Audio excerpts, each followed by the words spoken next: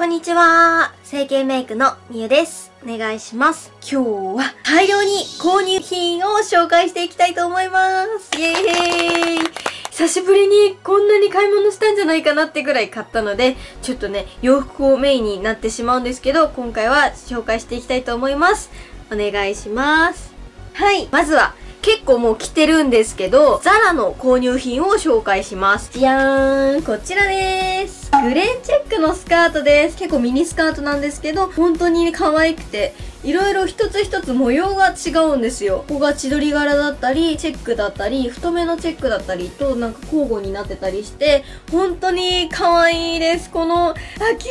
絶対活躍するんじゃないかってぐらい本当に可愛いです。ザラでしたね。はい。お次に、マウジーで買ってきました。こちらです。こちらがですね、ブラウスなんですけど、結構黒のツルツルとした生地が不思議な感じなんですけど、タグがついてる。こちらが6980円でこのブラウスをゲットしました。こう袖もこうフレアなタイプになっていて、こちら首元がこうね、首詰まるタイプのものなので、最近この、このブラウスがキャサリン妃って私すごい憧れの人なんですけど、あの方がこういう感じのブラウスをよく着ているので、なんかこういうのすごい気になっていて、私こんな結構ブリブリな感じの白とかは着れないので、ちょっと黒から挑戦してみようかなって思い、こちらの黒のブラウスを買ってみました。結構生地とかも可愛く、なんか絶対可愛い感じに着れるんじゃないかなと思って購入してみました。お次にさ、私もう韓国にハマってるって言っていてみんな知ってると思うんですけど、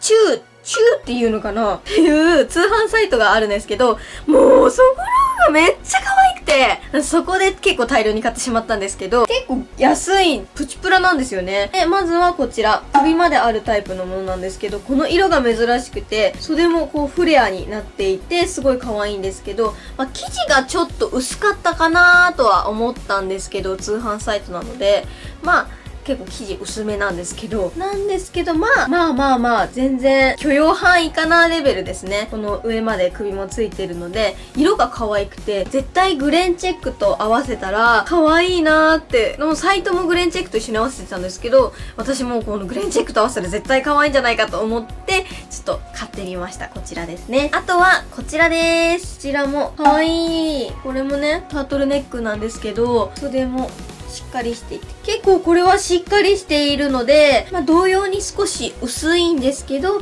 まあ、これは全然いいかなと思って結構分厚いですししかも安かったのでこれは買ってすごい良くて形もすごい可愛かったのでもう一つ違う色も欲しいなとか思いましたこれは着やすくちょっとふかっと着れるタイプのものですはいで色とかも不思議でちょっと緑サイトにはミントグリーンって書いてあったんですけど届いてみたらちょっと深みのある紫緑かなっていう感じのイメージでした。お次に、こちらです。もうほんと真っ白な、あの、もう何にでも使えそうなね、あの、T シャツですね。はい。これを近くで見て、生地とかもまあ、色、結構しっかりしていたので、縦線に線が入っているタイプなので、痩せて見えるのではないかなって思ってちょっと期待大です。はい。お次に、こちらです。ジーンズですね。これがね、皆さん知ってるかな？この5キロジーンズって言うんですけど、これが160センチ以下の方にぴったりに作られたジーンズって書いてあって、なんか身長が低い方はわかると思うんですけど、ジーンズがなかなか着こなせなかったりするするじゃないですか。身長がないと。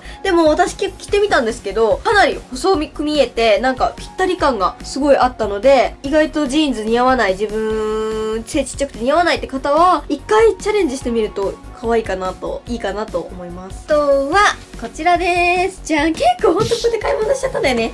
はい、こちらがプードルコートです。ピンクのプードルコートなんですけど、ほんと可愛い。でもね、ちょっとプードルちゃんなの。可愛いね。このピンクのプードルコートが欲しかったんです。買いました。またまたこちらですね。5キロマイナスの普通の黒のスキニーです。こちら。スカットに袖の方もなっていって、こちら穴開きタイプのものですね。結構黒の穴開きタイプのものはすごく好きなので、何個も私持ってるかもしれないです。でもなんかこの5キロマイナスっていうのがすごい気になったので、試しに買ってみたんですけど、まだ黒は着てないんですけど、さっきのね、センチ以下の方のっていうのを着てみて、結構なんか、お、痩せて見えるって思ったので、ちょっとこれ正解だったんじゃないかなって思います。またどこかでちょっとね、コーデのとか載せられたらいいなと思います。お次に、こちらでーす。じゃーん。こちらがですね、あ、結構薄いな、これ。今、ちょっと袋から出してみたんですけど、薄いね、これ。で、ここでボタンで留めるタイプなんですけど、ほんと、長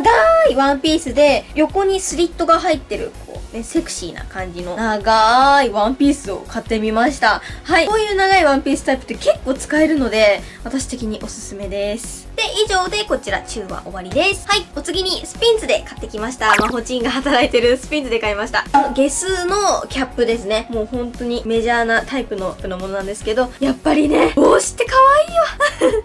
キャップね、欲しかったので買っちゃいました。お次にエスペランサで買ってきたものなんですけど、靴です。先がとんがってるタイプのものになっていって、こうね、ちょっと本当に今年結構大活躍しそうなブーツを買ってきました。あとはコスメなんですけど、もうみんなが教えてくれたつけまつげがありました嬉しいよ私はこうドラッグストアで買ってきたんですけど、じゃじゃーん皆さんが教えてくれたドーリーウィンクのつけまつげが売ってました芯が硬いタイプのものを2個買ってきました。もう2つ新作が出てたんですけど、それは松江区みたいな感じのつけまつげって書いてあったので、こう、つけまつげで二重にしてる方だったら、こっちの方が参考になるかなと思って買ってきました。で、今私つけてるつけまつげも、こちらの28番のつけまつげになってます。私が使ってた前、ナンバー17番を使ってたと思うんですけど、それの毛が薄くなったバージョンだなと思って、で、これはナンバー2番のナチュラルな毛束プラス太しになったって書いてあるので、私が今つけてるのはこの28番です。また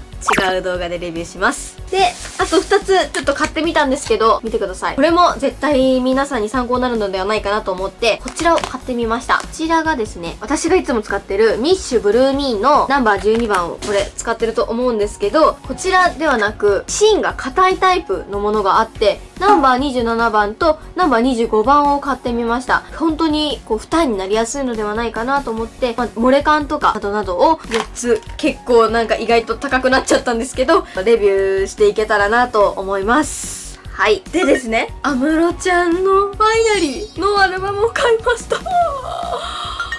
最後のアルバムですよ、皆さん。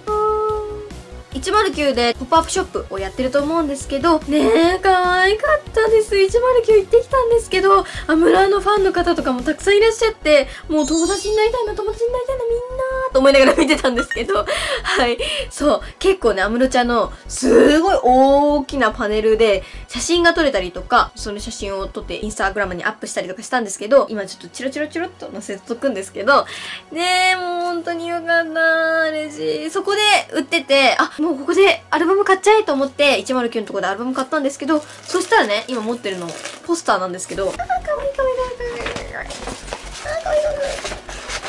アムロちゃんのポスターもらいました。みんなについてくるやつなんだけどこれは D ポイントのやつとポスターがもらえます。